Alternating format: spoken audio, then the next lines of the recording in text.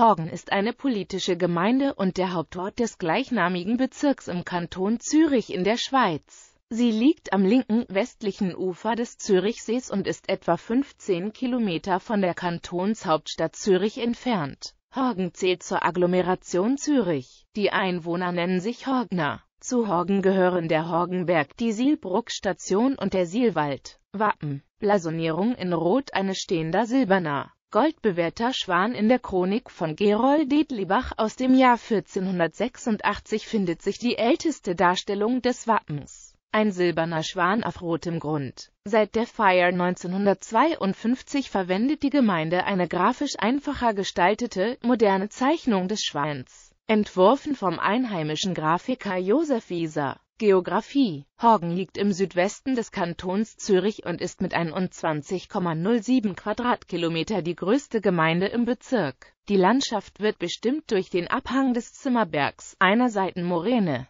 welche der Lindgletscher bei seinem Vorstoß nach der letzten Eiszeit geformt hat, und dem Albis-Höhenzug. Das Gemeindegebiet erstreckt sich vom linken Seeufer über das Sieltal hinweg bis zum Albisgrade. Der größte Anteil von Horgen ist von Wald bedeckt und umfasst 50,0 Prozent des Gemeindegebietes. Weitere 27,8 Prozent werden landwirtschaftlich genutzt, 12,5 Prozent für Siedlungen, 7,9 Prozent für Verkehr, 1,9 Prozent sind unproduktive Fläche und 1,6 Prozent sind Gewässeranteil. Bestimmender Wasserlauf im Gemeindegebiet von Horgen ist die Siel, die am Drusberg im Kanton Schwyz entspringt. In Zürich die Limit mündet und die Gemeinde auf etwa 6 Kilometer Länge durchquert. Der Dorfbach und Bäche wie der Tannenbach, Abach, Meilibach fließen zum Zürichsee, einige kleinere sind teilweise eingedollt. Auf dem Gemeindegebiet von Horgen liegt der Bergweiher mit einer Fläche von 4,2 Hektar. Die Länge des Seeanstoßes an den Zürichsee beträgt ungefähr 4 Kilometer. Das Dorf ist das Zentrum von Horgen. In ihm finden sich auf kleinem Raum die gesamte Verwaltung von Gemeinde und Bezirk sowie die Schauplätze des kulturellen und sozialen Lebens. Die wichtigsten Einkaufsmöglichkeiten und deren Verkehrsknotenpunkt Bahnhof See. Die vorherrschende Architektur ist modern städtisch. Außer einigen schönen alten Gebäuden und Gassen ist kein einheitlicher alter Kern erhalten. Ahren liegt am südlichen Zipfel des Gemeindegebietes. Das Schulhaus beherbergt zwei Primarschulklassen, einen Kindergarten sowie eine Logopädie. Etwas Bekanntheit erlangte der Ortsteil im Jahr 1804, als im Gefecht bei der Bocken die Aufständischen unter Hans Jakob Willi siegten der Horgenberg liegt im westlichen Teil des Gemeindegebietes auf dem Zimmerbergrücken oberhalb der Autobahn A3. Er besteht aus den verstreut liegenden Weilern Würenbach, Moorschwand, Schlausen, Wiedenbach, Teplitten und anderen. Durch die eigene Primarschule mit zwei Klassen und das vielfältig genutzte Mehrzweckgebäude hat sich der Horgenberg eine gewisse Eigenständigkeit bewahrt der landwirtschaftlich geprägte Naherholungsraum im Horgenberg, vor allem die Gegend um den Bergweiher, wird von der Dorfbevölkerung sehr geschätzt.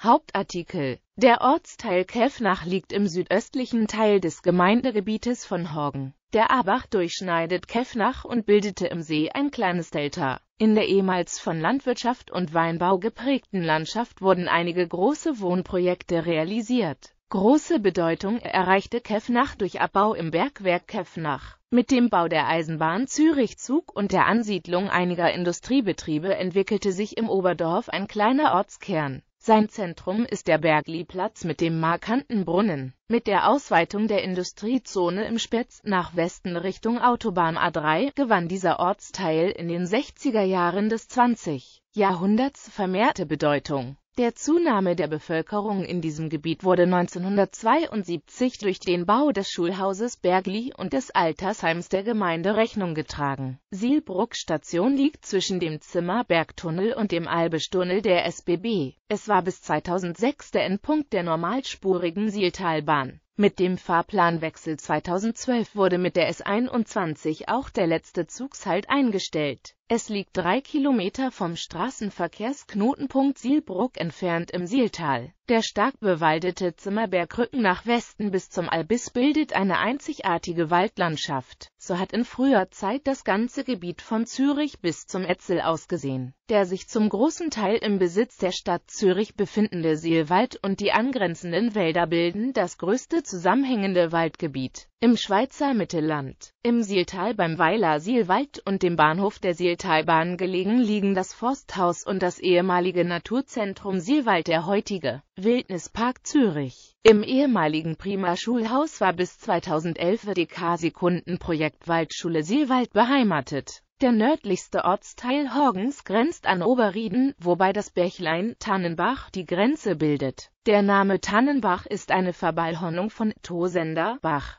Das Bächlein verursachte im Frühjahr oftmals Überschwemmungen bei den anliegenden Grundstücken. Das Quartier war bis vor etwa 100 Jahren vom Rehbau geprägt. Der einzige Industriebetrieb war die bis 2006 betriebene Papierfabrik direkt am See. Neben der Papierfabrik liegt die Kläranlage von Horgen. Im Tannenbach befindet sich das Spital Zimmerberg. Seit 2006 ist hier eine Altersresidenz Tertianum direkt neben dem Spital in Betrieb. Das Pflegeheim Amalia Widmer ist eine Stiftung der reichen, ledigen Bauerntochter Amalia Widmer, welche auf diese Weise für das Fortbestehen ihres Namens sorgen wollte. Das Land für das Primarschulhaus Tannenbach wurde ebenso von Fräulein Widmer gestiftet. Neuerdings steht eine Kirche im Quartier. Die Neuapostolische Gemeinde errichtete sie neben den denkmalgeschützten Häusern beim Ortseingang. Soest von 1558, Hotel und Taverne Schwan 1462 als Gesellenhaus erbaut. Eingang Bergwerk Keffnach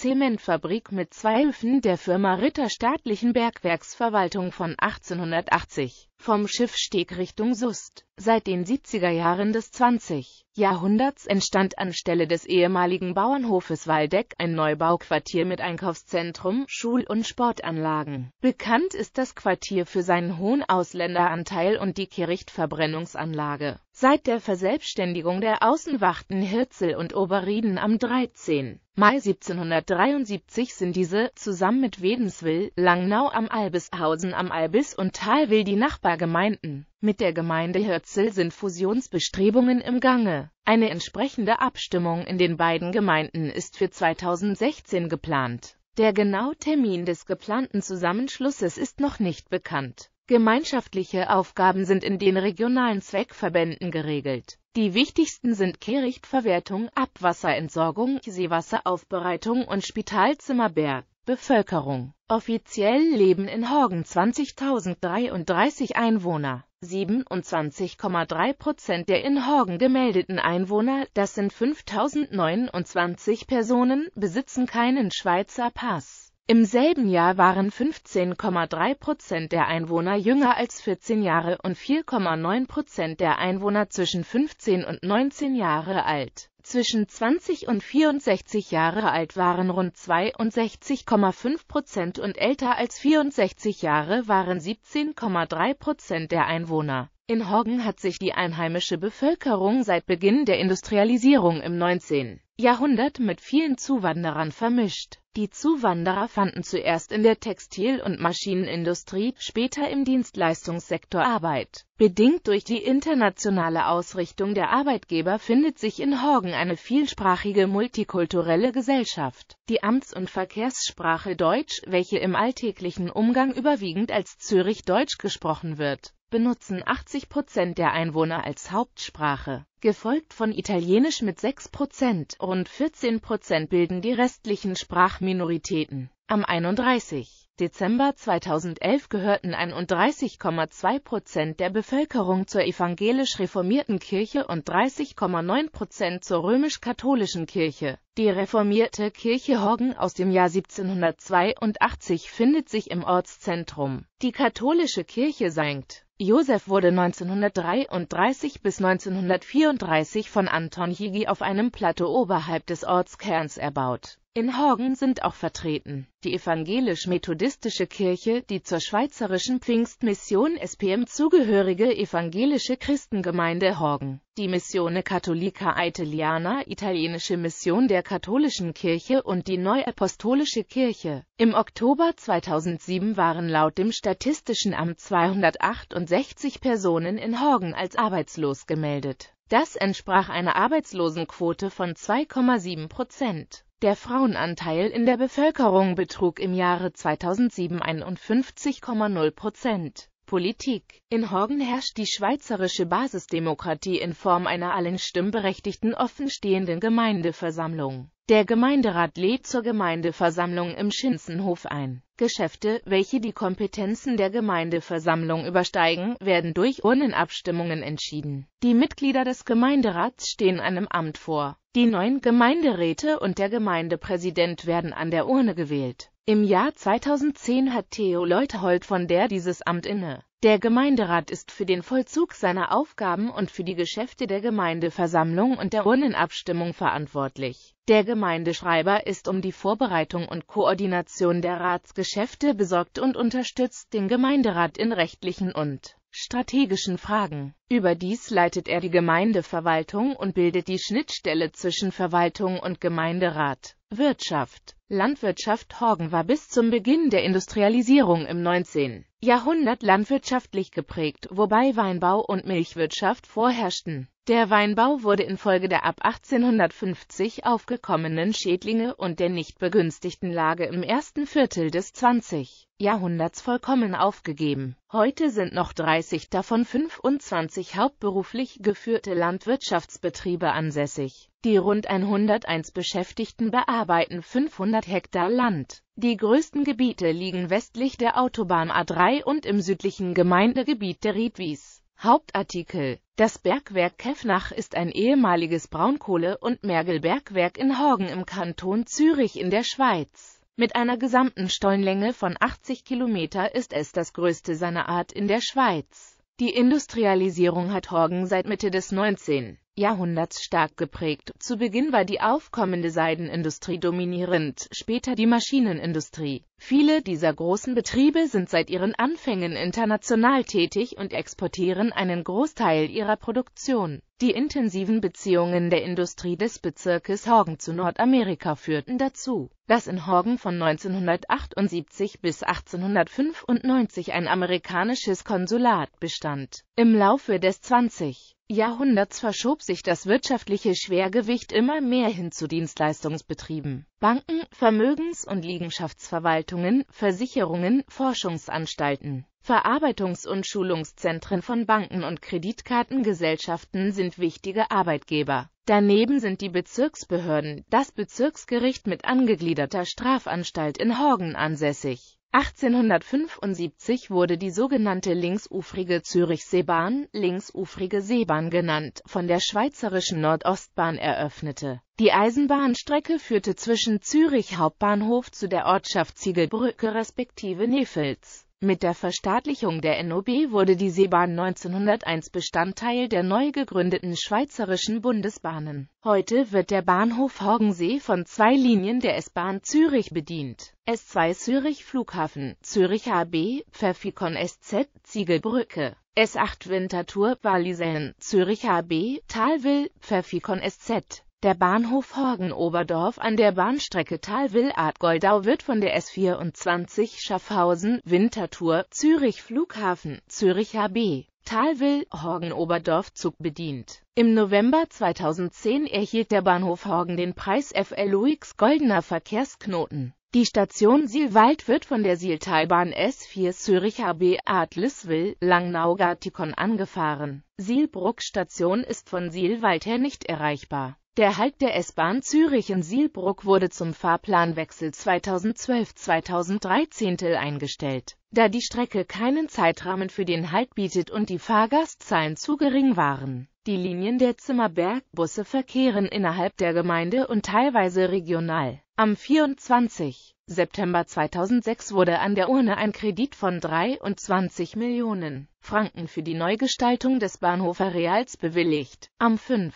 März 2007 erfolgte der Spatenstich zur Realisierung des Projektes Die Neugestaltung des Bahnhofareals ist 2009 abgeschlossen worden. Durch Horgen verkehrt die wichtige Hauptstraße 3 von Zürich nach Pfäffikon SZ. Westlich von Horgen führt die Autobahn A3 von Basel über Zürich nach Sargans vorbei. Der neu erstellte Uetlibergtunnel verbindet seit 4. Mai 2009 Horgen durchgehend via den Westring Zürich mit Basel. Der Anschluss Horgen liegt im südlichen Teil von Horgen und gewährleistet die Verbindung zum lokalen Straßennetz. Schifffahrt Hauptartikel Die Zürich-Seefähre Horgenmeilen AG ist eine Schweizer Aktiengesellschaft und betreibt seit 1932 den Fährbetrieb auf dem Zürichsee zwischen Horgen und Meilen. Die fünf Fährschiffe befördern im Jahr etwa 2,3 Millionen Personen, 1,3 Millionen Personenwagen und rund 100.000 Lastwagen. Hauptartikel Die Zürichsee-Schifffahrtsgesellschaft betreibt die Personenschifffahrt auf dem Zürichsee. Die Schiffsflotte transportiert jährlich etwa 1,8 Millionen Passagiere. Geschichte Die Ur- und Frühgeschichte von Horgen ist bislang noch nicht intensiv untersucht worden. Im Käfnacher Kohleflöz sind Versteinerungen von Fahnen und Mastodon erhalten geblieben. Die frühesten Siedlungen im Gemeindegebiet sind die Seeufersiedlungen der Pfahlbauer. Die ältesten jungneolithischen Siedlungsreste wurden beim heutigen Schiffssteg gefunden und der Pfünner Kultur zugeordnet. Sie entstanden 3900 bis 3500 v. CHR. Die Menschen der nach ihrem Fundort benannten Horgener Kultur hatten ihren Siedlungsplatz im Scheller nahe der Grenze zu Oberrieden. Bei den Grabungen 1987 bis 1990 wurde dendrochronologisch die Entstehung der sieben getrennten Kulturschichten im Scheller in die Jahre 3100 bis 3000 v. CHR datiert. Die Horgener Siedlungen standen in Verbindung mit zeitgenössischen Siedlungen an anderen Schweizer Seen. Aus dem 2. Jahrhundert stammen die beiden keltischen Frauengräber im Talacker. Für die Zeit der Völkerwanderung im 7. Jahrhundert sind alamannische Gräber bei der Kapelle an der Stockerstraße im Entweder und im Betbo belegt. In der Urkunde durch die König Otto I. am 1. März 952 umfangreiche Ländereien in der Gegend von Horgen dem Kloster Frau Münster in Zürich schenkte, wurde Horgen als Horgau zum ersten Mal erwähnt. Horgen erlebte seit dem späten Mittelalter als Warenumschlagplatz einen Aufschwung. Um 1437 wurde Horgen Obervogtei, als es die Zürcher Regierung es mit der Vogtei Talwil und nach der Reformation mit dem Hofrufers in Adliswil vereinigte. Das Gebiet der Obervogtei reichte von Wollishofen bis zur Grenze zu Wädenswil. Im Alten Zürichkrieg, während der Zürcher Reformation durch Ulrich Zwingli und der Gegenreformation war das Gebiet der Gemeinde Horgen ein Vorposten gegen die katholische Innerschweiz. Religiöse Auseinandersetzungen gab es ab 1585 zwischen der Herrschaft in der Stadt und der Täufergemeinde im Horgenberg. Im Zug dieser Ereignisse wurde Hans Lendes am 30. September 1614 in Zürich enthauptet. Die napoleonischen Wirren, die Helvetik 1798 zu 1803 und die Auseinandersetzungen um die Mediationsverfassung 1803 gipfelten 1804 im Bockenkrieg. In der Helvetik und Mediation blieb Horgen District Hauptort. Die Regenerations-Verfassung von 1831 legte die Grundlage zum heutigen Bezirk Horgen.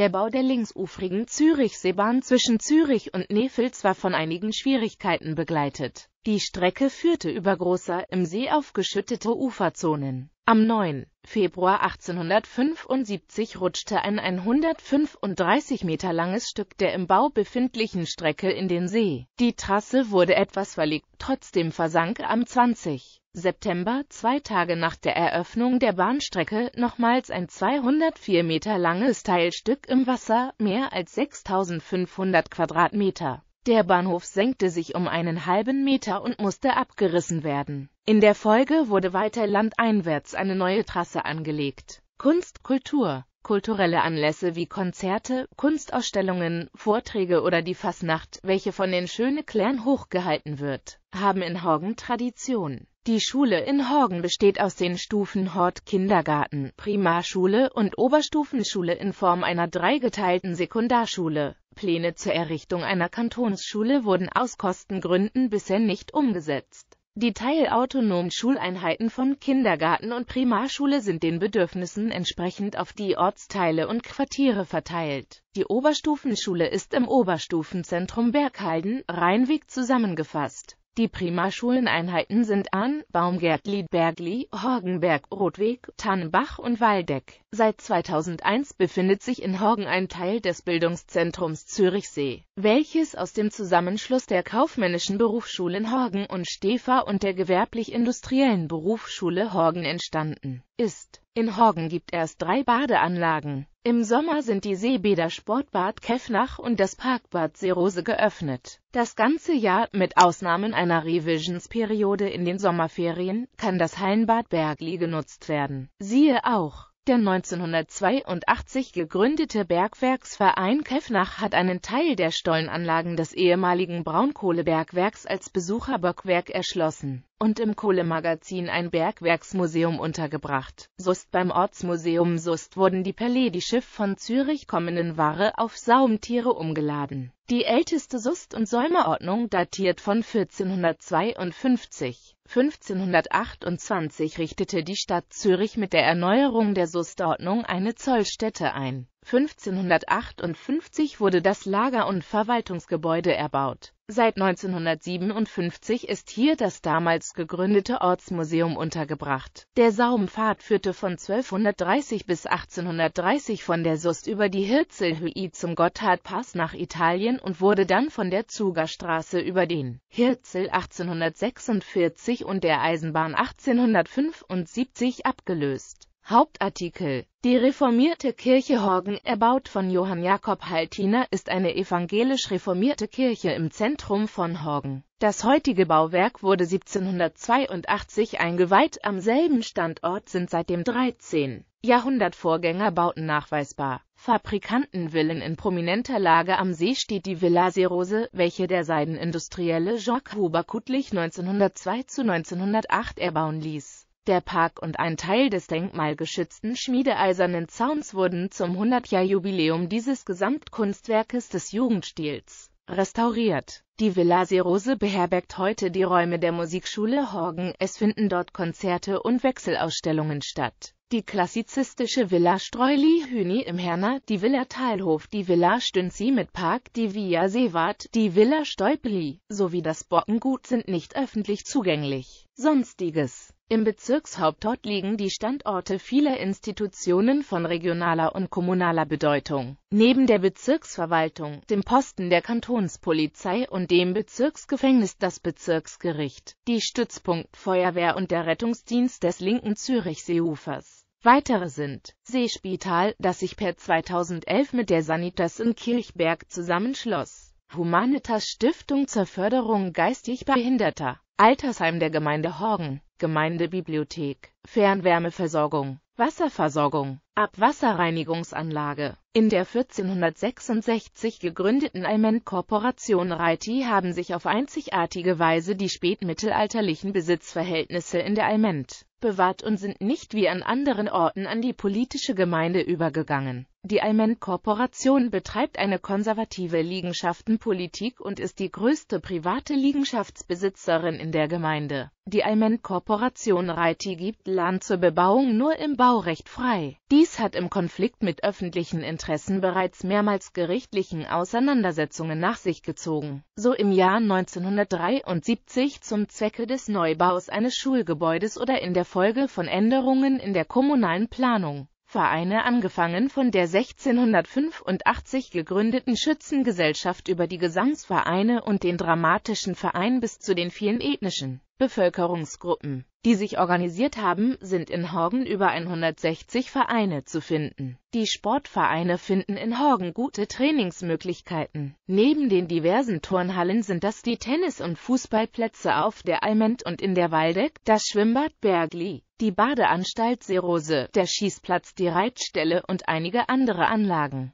Die Schöne Klar, 1934 als Sportverein gegründet, sind eine Fastnachtsgesellschaft mit großer Tradition und Engagement in der Gemeinde. Ins Leben gerufen wurde der Verein im noch heutigen Stammlokal, dem Restaurant Schöneck Veranstaltungen wie die Schnitzelbank und die Maskenbälle genießen einen hohen Bekanntheitsgrad und die Fastnachtszeitung gehörscht gehört zur Pflichtlektüre eines jeden Horgners. Frack und Zylinder sowie karierte Hosen sind seit der Gründung das unübersehbare Erscheinungsbild des Vereins. Der Schwimmclub Horgen, 30-facher Schweizer Meister im Wasserball, spielt im 22 zu 24 Grad Celsius warmen Wasser des Sportbads Käfnacht, das bereits ab 1 Mai für jedermann geöffnet wird. Eine Eigenheit ist das Schwimmbecken, in welchem die Spiele stattfinden. Ein im See verankerter Schwimmkörper aus Beton. Persönlichkeiten Willi Albrecht, Lithograph und Kunstmaler. Elisabeth Feller, Unternehmerin und Kunstmezzanin. Hans Hofmann, Altständerat. Heut van Heutema, niederländischer Kameramann. Fortschnitt Huber, Unternehmer und Schriftsteller. Jacques Huber Kuttlich, Seidenindustrieller in New York und Horgen.